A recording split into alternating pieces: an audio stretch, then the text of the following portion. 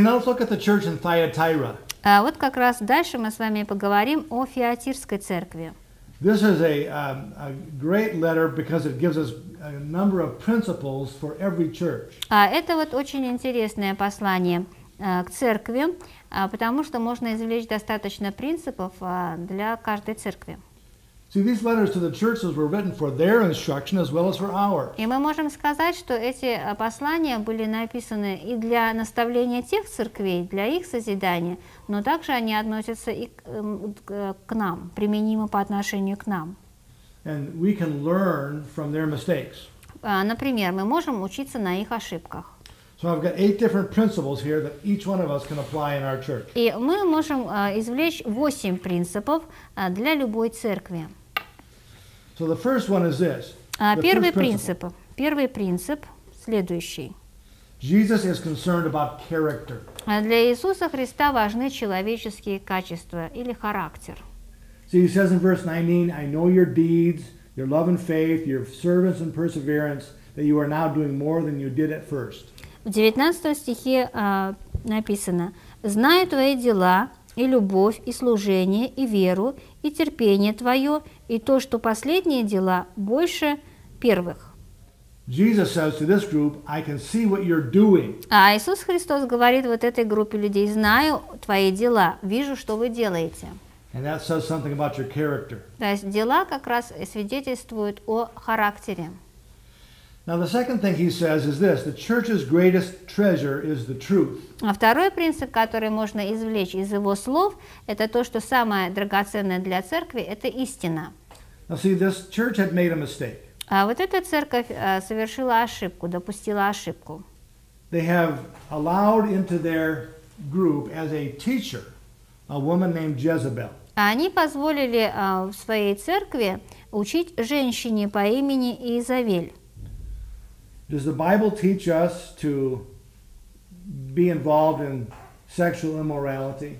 А Разве Библия призывает нас к тому, что мы должны блудодействовать, жить безнравственно, распущенно? Конечно, нет, она не призывает к этому. So where did she get this information? Откуда же тогда у нее такие мысли появились? Откуда а, та- такие вот предложения у нее? She didn't get it from the Bible. She got it, made it up, the street. А, Если не, не из Библии, то либо сама придумала, либо на улице услышала. So she had taken her Bible and set it aside. Другими словами, она отложила Библию в сторону Now she can come up with whatever, what- with whatever she wants to, as long as it works. а, и предлагает то, что, а, как мы говорим, работает. Если это работает, то пойдет. And maybe in her her economy, what works would be makes more people listen to her. А может быть, с ее точки зрения, а, можно было использовать любые методы, лишь бы побольше людей ее слушали. Another principle that we need to recognize here is that there is no middle ground with Satan. А следующий принцип, о котором мы не должны забывать, это то, что не должно быть никаких компромиссов с сатаной. See, she she was taking two things. She was mixing the truth in with some lies. А что сделала эта женщина? Она брала немножко истины, немножко лжи и перемешивала. kind of making a new religion that appealed to the spirit and to the flesh. А, Таким образом создавая новую религию, которая, была, которая удовлетворяла бы как дух, так и плоть. But you can't mix the truth and lies. Однако мы не должны мешать истину с ложью. Because when you mix lies with the truth, all you end up with is lies. Потому что когда к истине добавляешь ложь, в результате получается ложь. The truth is pure.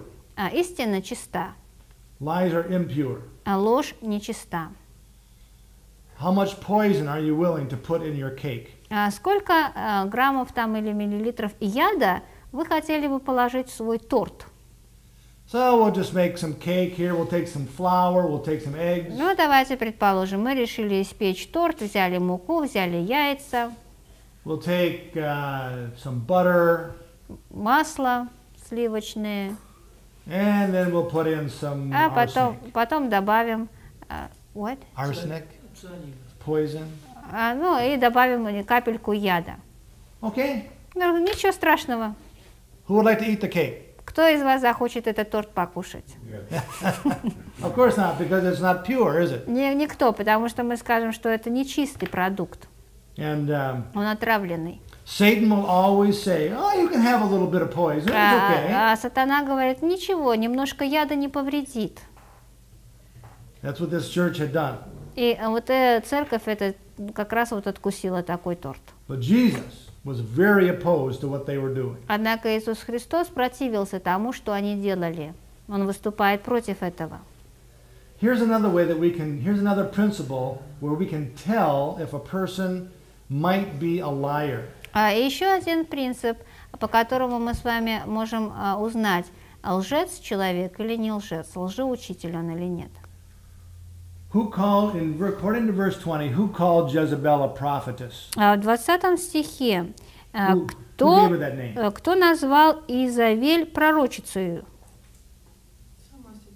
Herself. She gave it to herself. То есть она, I am a prophetess. она сама себя называет пророчицей, то есть говорит, я пророчица. The Bible says that a man should not praise himself, А в Библии говорится о том, что человек не должен восхвалять самого себя, but others should recognize. а дру- другие должны признавать какие-то достоинства в нем. Paul says to us, don't lay uh, your hands on a person suddenly to commission them to be uh, to preach the gospel. а, Павел также предупреждает о том, что мы не должны в спешке а, рукополагать людей, а, отправляя их проповедовать Евангелие. That implies that someone else should recognize that gift in you. А Рукоположение – это признание того, а, это признание со стороны другого человека того факта, что у вас есть определенный дар к служению.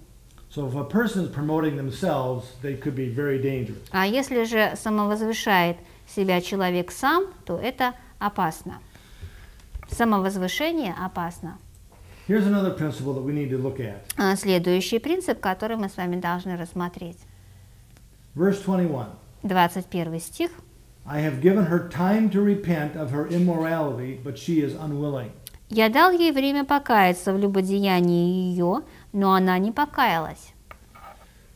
This is the principle. Как- Don't mistake God's patience for God's approval. А Какой можно извлечь принцип?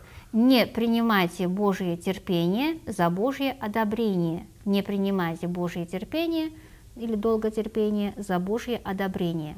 Это не одно и то же. There are few things as dangerous as the sin committed that has no consequence. Наверное, нет э, ничего опасного, или можно назвать э, только два или три других примера э, более опасных, чем грех, э, за которым не следуют последствия. We do something wrong and nothing happens. Например, мы согрешили, и никаких последствий, ничего не произошло. Нами. А мы снова согрешили и видим никаких вроде последствий. No lightning bolt, То есть ни грома, ни молнии, no sickness, ни болезней, no my you know we, we, still have money, we still have a то есть и, car. деньги, и машина, все при нас, то есть никаких вот последствий мы не видим. Our heart is still beating. Сердце работает, So it must be okay. значит нормально грешить. But God can be patient with us А, но, well. но это просто Божье терпение, да, это не означает, что Он это одобряет. So Jesus is saying, don't make the mistake of thinking you can sin and there will be no И consequence. Иисус Христос э, здесь как раз и предупреждает, не думайте, что вы можете грешить постоянно, и что не будет никаких последствий, не будет никакого наказания в конце. Because there's going to be a tremendous consequence in verse 22. А В 22 стихе мы с вами э, читаем, какие будут последствия для нее в данном случае. This woman is going to uh, be sick, А Здесь э, говорится о том, что она будет в великой скорби, в болезнях, and those uh, who committed adultery with her are going to suffer. а также пострадают те, кто любодействовал вместе с нею. And her children are going to die. А дети ее умрут, поражу смертью, в 23 стихе написано. All in the time of God. То есть, но все это будет по расписанию Божьему. And then verse 23 says, everyone will know who the Lord is. А, И в 23 стихе а, говорится, что и уразумеют все церкви, а, кто есть Господь.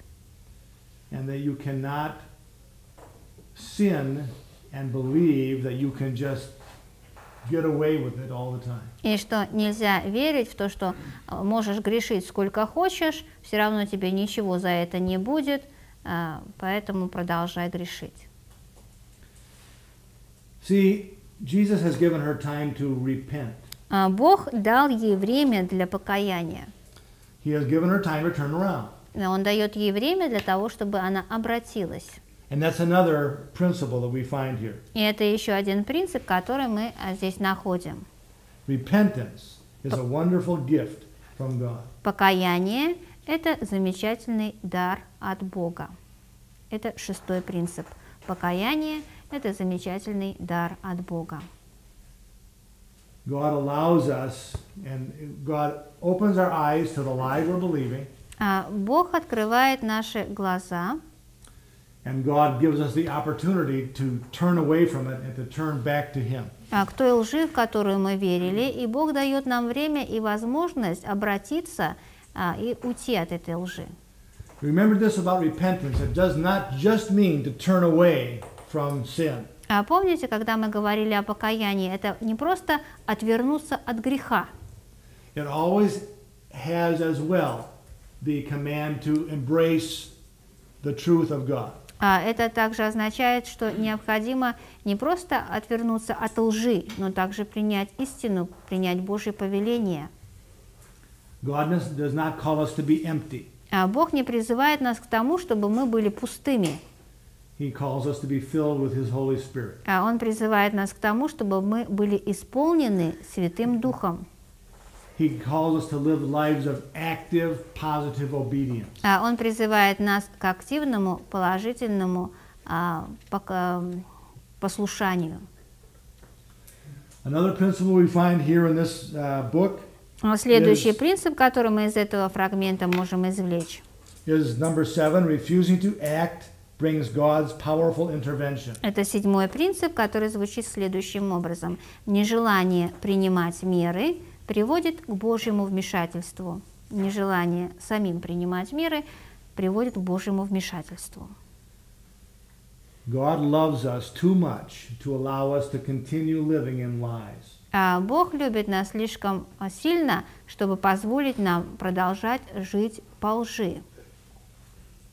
How many of you have children? А у кого из вас есть дети? Several you have children? Okay. Do you uh, allow your children, would you allow your, li- your children to play in the street with cars? А вы разрешаете своим детям играть на проезжей части дороги? Why not? А почему бы и нет? С машинками поиграть. You, you know why not. Oh, sure. It's pretty obvious, isn't it? Это You know, совершенно очевидно, да, почему нет? They could be hit by a car. Потому что машина может задавить. So you don't, that's the same reason you don't allow them to play with, um, uh, to eat uh, the things you use to clean the sink. А, Естественно, что вы не разрешаете детям а, кушать порошок, которым вы чистите раковину. So sometimes when a child wants to do something dangerous very badly, we have to intervene А иногда у ребенка бывает очень огромное желание сделать то, что будет опасно для его жизни. И как в таких ситуациях просто требуется родительское вмешательство. Sometimes, if they're in danger, we have to grab them and pull them away. А, иногда мы даже не разговариваем. а Если мы видим, что ребенок в опасности, мы просто его хватаем со всей силы и тянем. And they'll say, Oh, Daddy, you're hurting me. А ребенок говорит, папа, больно, отпусти. Or, Oh, you're yelling at me. Он говорит, или не кричи на меня. Well, it's that or die. Я говорю, или я буду кричать, или ты умрешь. Одно из двух выбирай. So, God sometimes has to use a big stick. Поэтому Богу иногда приходится тоже использовать розги по отношению к своим детям. Да, есть время, когда Он проявляет терпение, когда Он спокойно объясняет нам истину. Но если мы не слушаем и, и лезем куда не надо, то Он достает свою палку. Okay, and finally, the last principle. И последний принцип, который мы можем извлечь из того, что написано для этой церкви, The Those who walk with God experience eternal rewards. Живущие с Богом получат награды вечности. There is uh, to him who overcomes, verse 26, and does my will, I will give authority over the nations. 26 стих, посмотрите. «Кто побеждает и соблюдает дела мои до конца, тому дам власть над язычниками». And that's going to be an eternal reward. И это будет наградой вечности, вечным вознаграждением. Поддержите ТВ-семинарий молитвой и финансами. Не рассчитывайте, что пожертвует кто-то другой. Так думают многие, и хорошие проекты перестают существовать. Поддержите наш проект молитвой и финансами. Информацию, о чем молиться и как пожертвовать, вы можете найти на сайте tvseminary.com. We're going to find this contrast throughout the book of Revelation. А мы с вами э, на э, протяжении книги Откровения будем видеть э, такое противопоставление, такой контраст. You can, you can choose short-term physical rewards, А можно выбрать какое-то краткосрочное физическое а, или плотское, так скажем, вознаграждение. They are very present, very real, А, Они реальные, в настоящем ощутимые. or you can choose long-term eternal rewards. Или можно вы- выбрать долгосрочное, вечное вознаграждение, но только вечности. That means you may have to wait to А- receive them. А это означает, что сейчас нужно подождать. Вознаграждение будет потом. And in the meantime, you may have to suffer. И, может быть, даже придется пострадать, прежде чем получите вознаграждение. You may even be killed. Может быть, вас даже убьют. Можете объяснить, ну, награда венцы, я понимаю, а вас над язычниками? So, uh, you, can you explain that eighth principle um, when you said in verse 26 that they will have authority over Gentiles? What is that for? And what does it mean? Uh, I think that probably refers to um, the period of the millennium Я, я, я, я, думаю, что вот, э, вот это выражение «тому дам власть над язычниками» имеет отношение к тысячелетнему царству, когда будет при- пришествие Иисуса Христа. We will reign with Christ, who um, Потому что мы, these words э, are used to describe his reign. э, мы будем царствовать с Иисусом Христом, то есть обладать вот этой вот властью царственной. Э, Имеется в виду в обновленных телах. So we will be in the renewed Yes. bodies. Да. А власть над теми, кто будет еще воплотить, да? So and we will have authority over those who will be still in flesh, in Yes. physical bodies. Да. Типа не власть, может, даже, а привилегия. So it's not uh, like we will be will have power over them. It's like we will be more privileged. well, we the good news is that we will be with Jesus. And Oh, here's what- the this is another principle in the book of Revelation. You're either with Jesus То есть, по крайней мере, мы с вами то- то- то- точ- точно знаем одно, что мы будем с Иисусом Христом. И в книге Откровения вот именно две стороны. Либо ты с Иисусом Христом, либо ты э, с сатаной.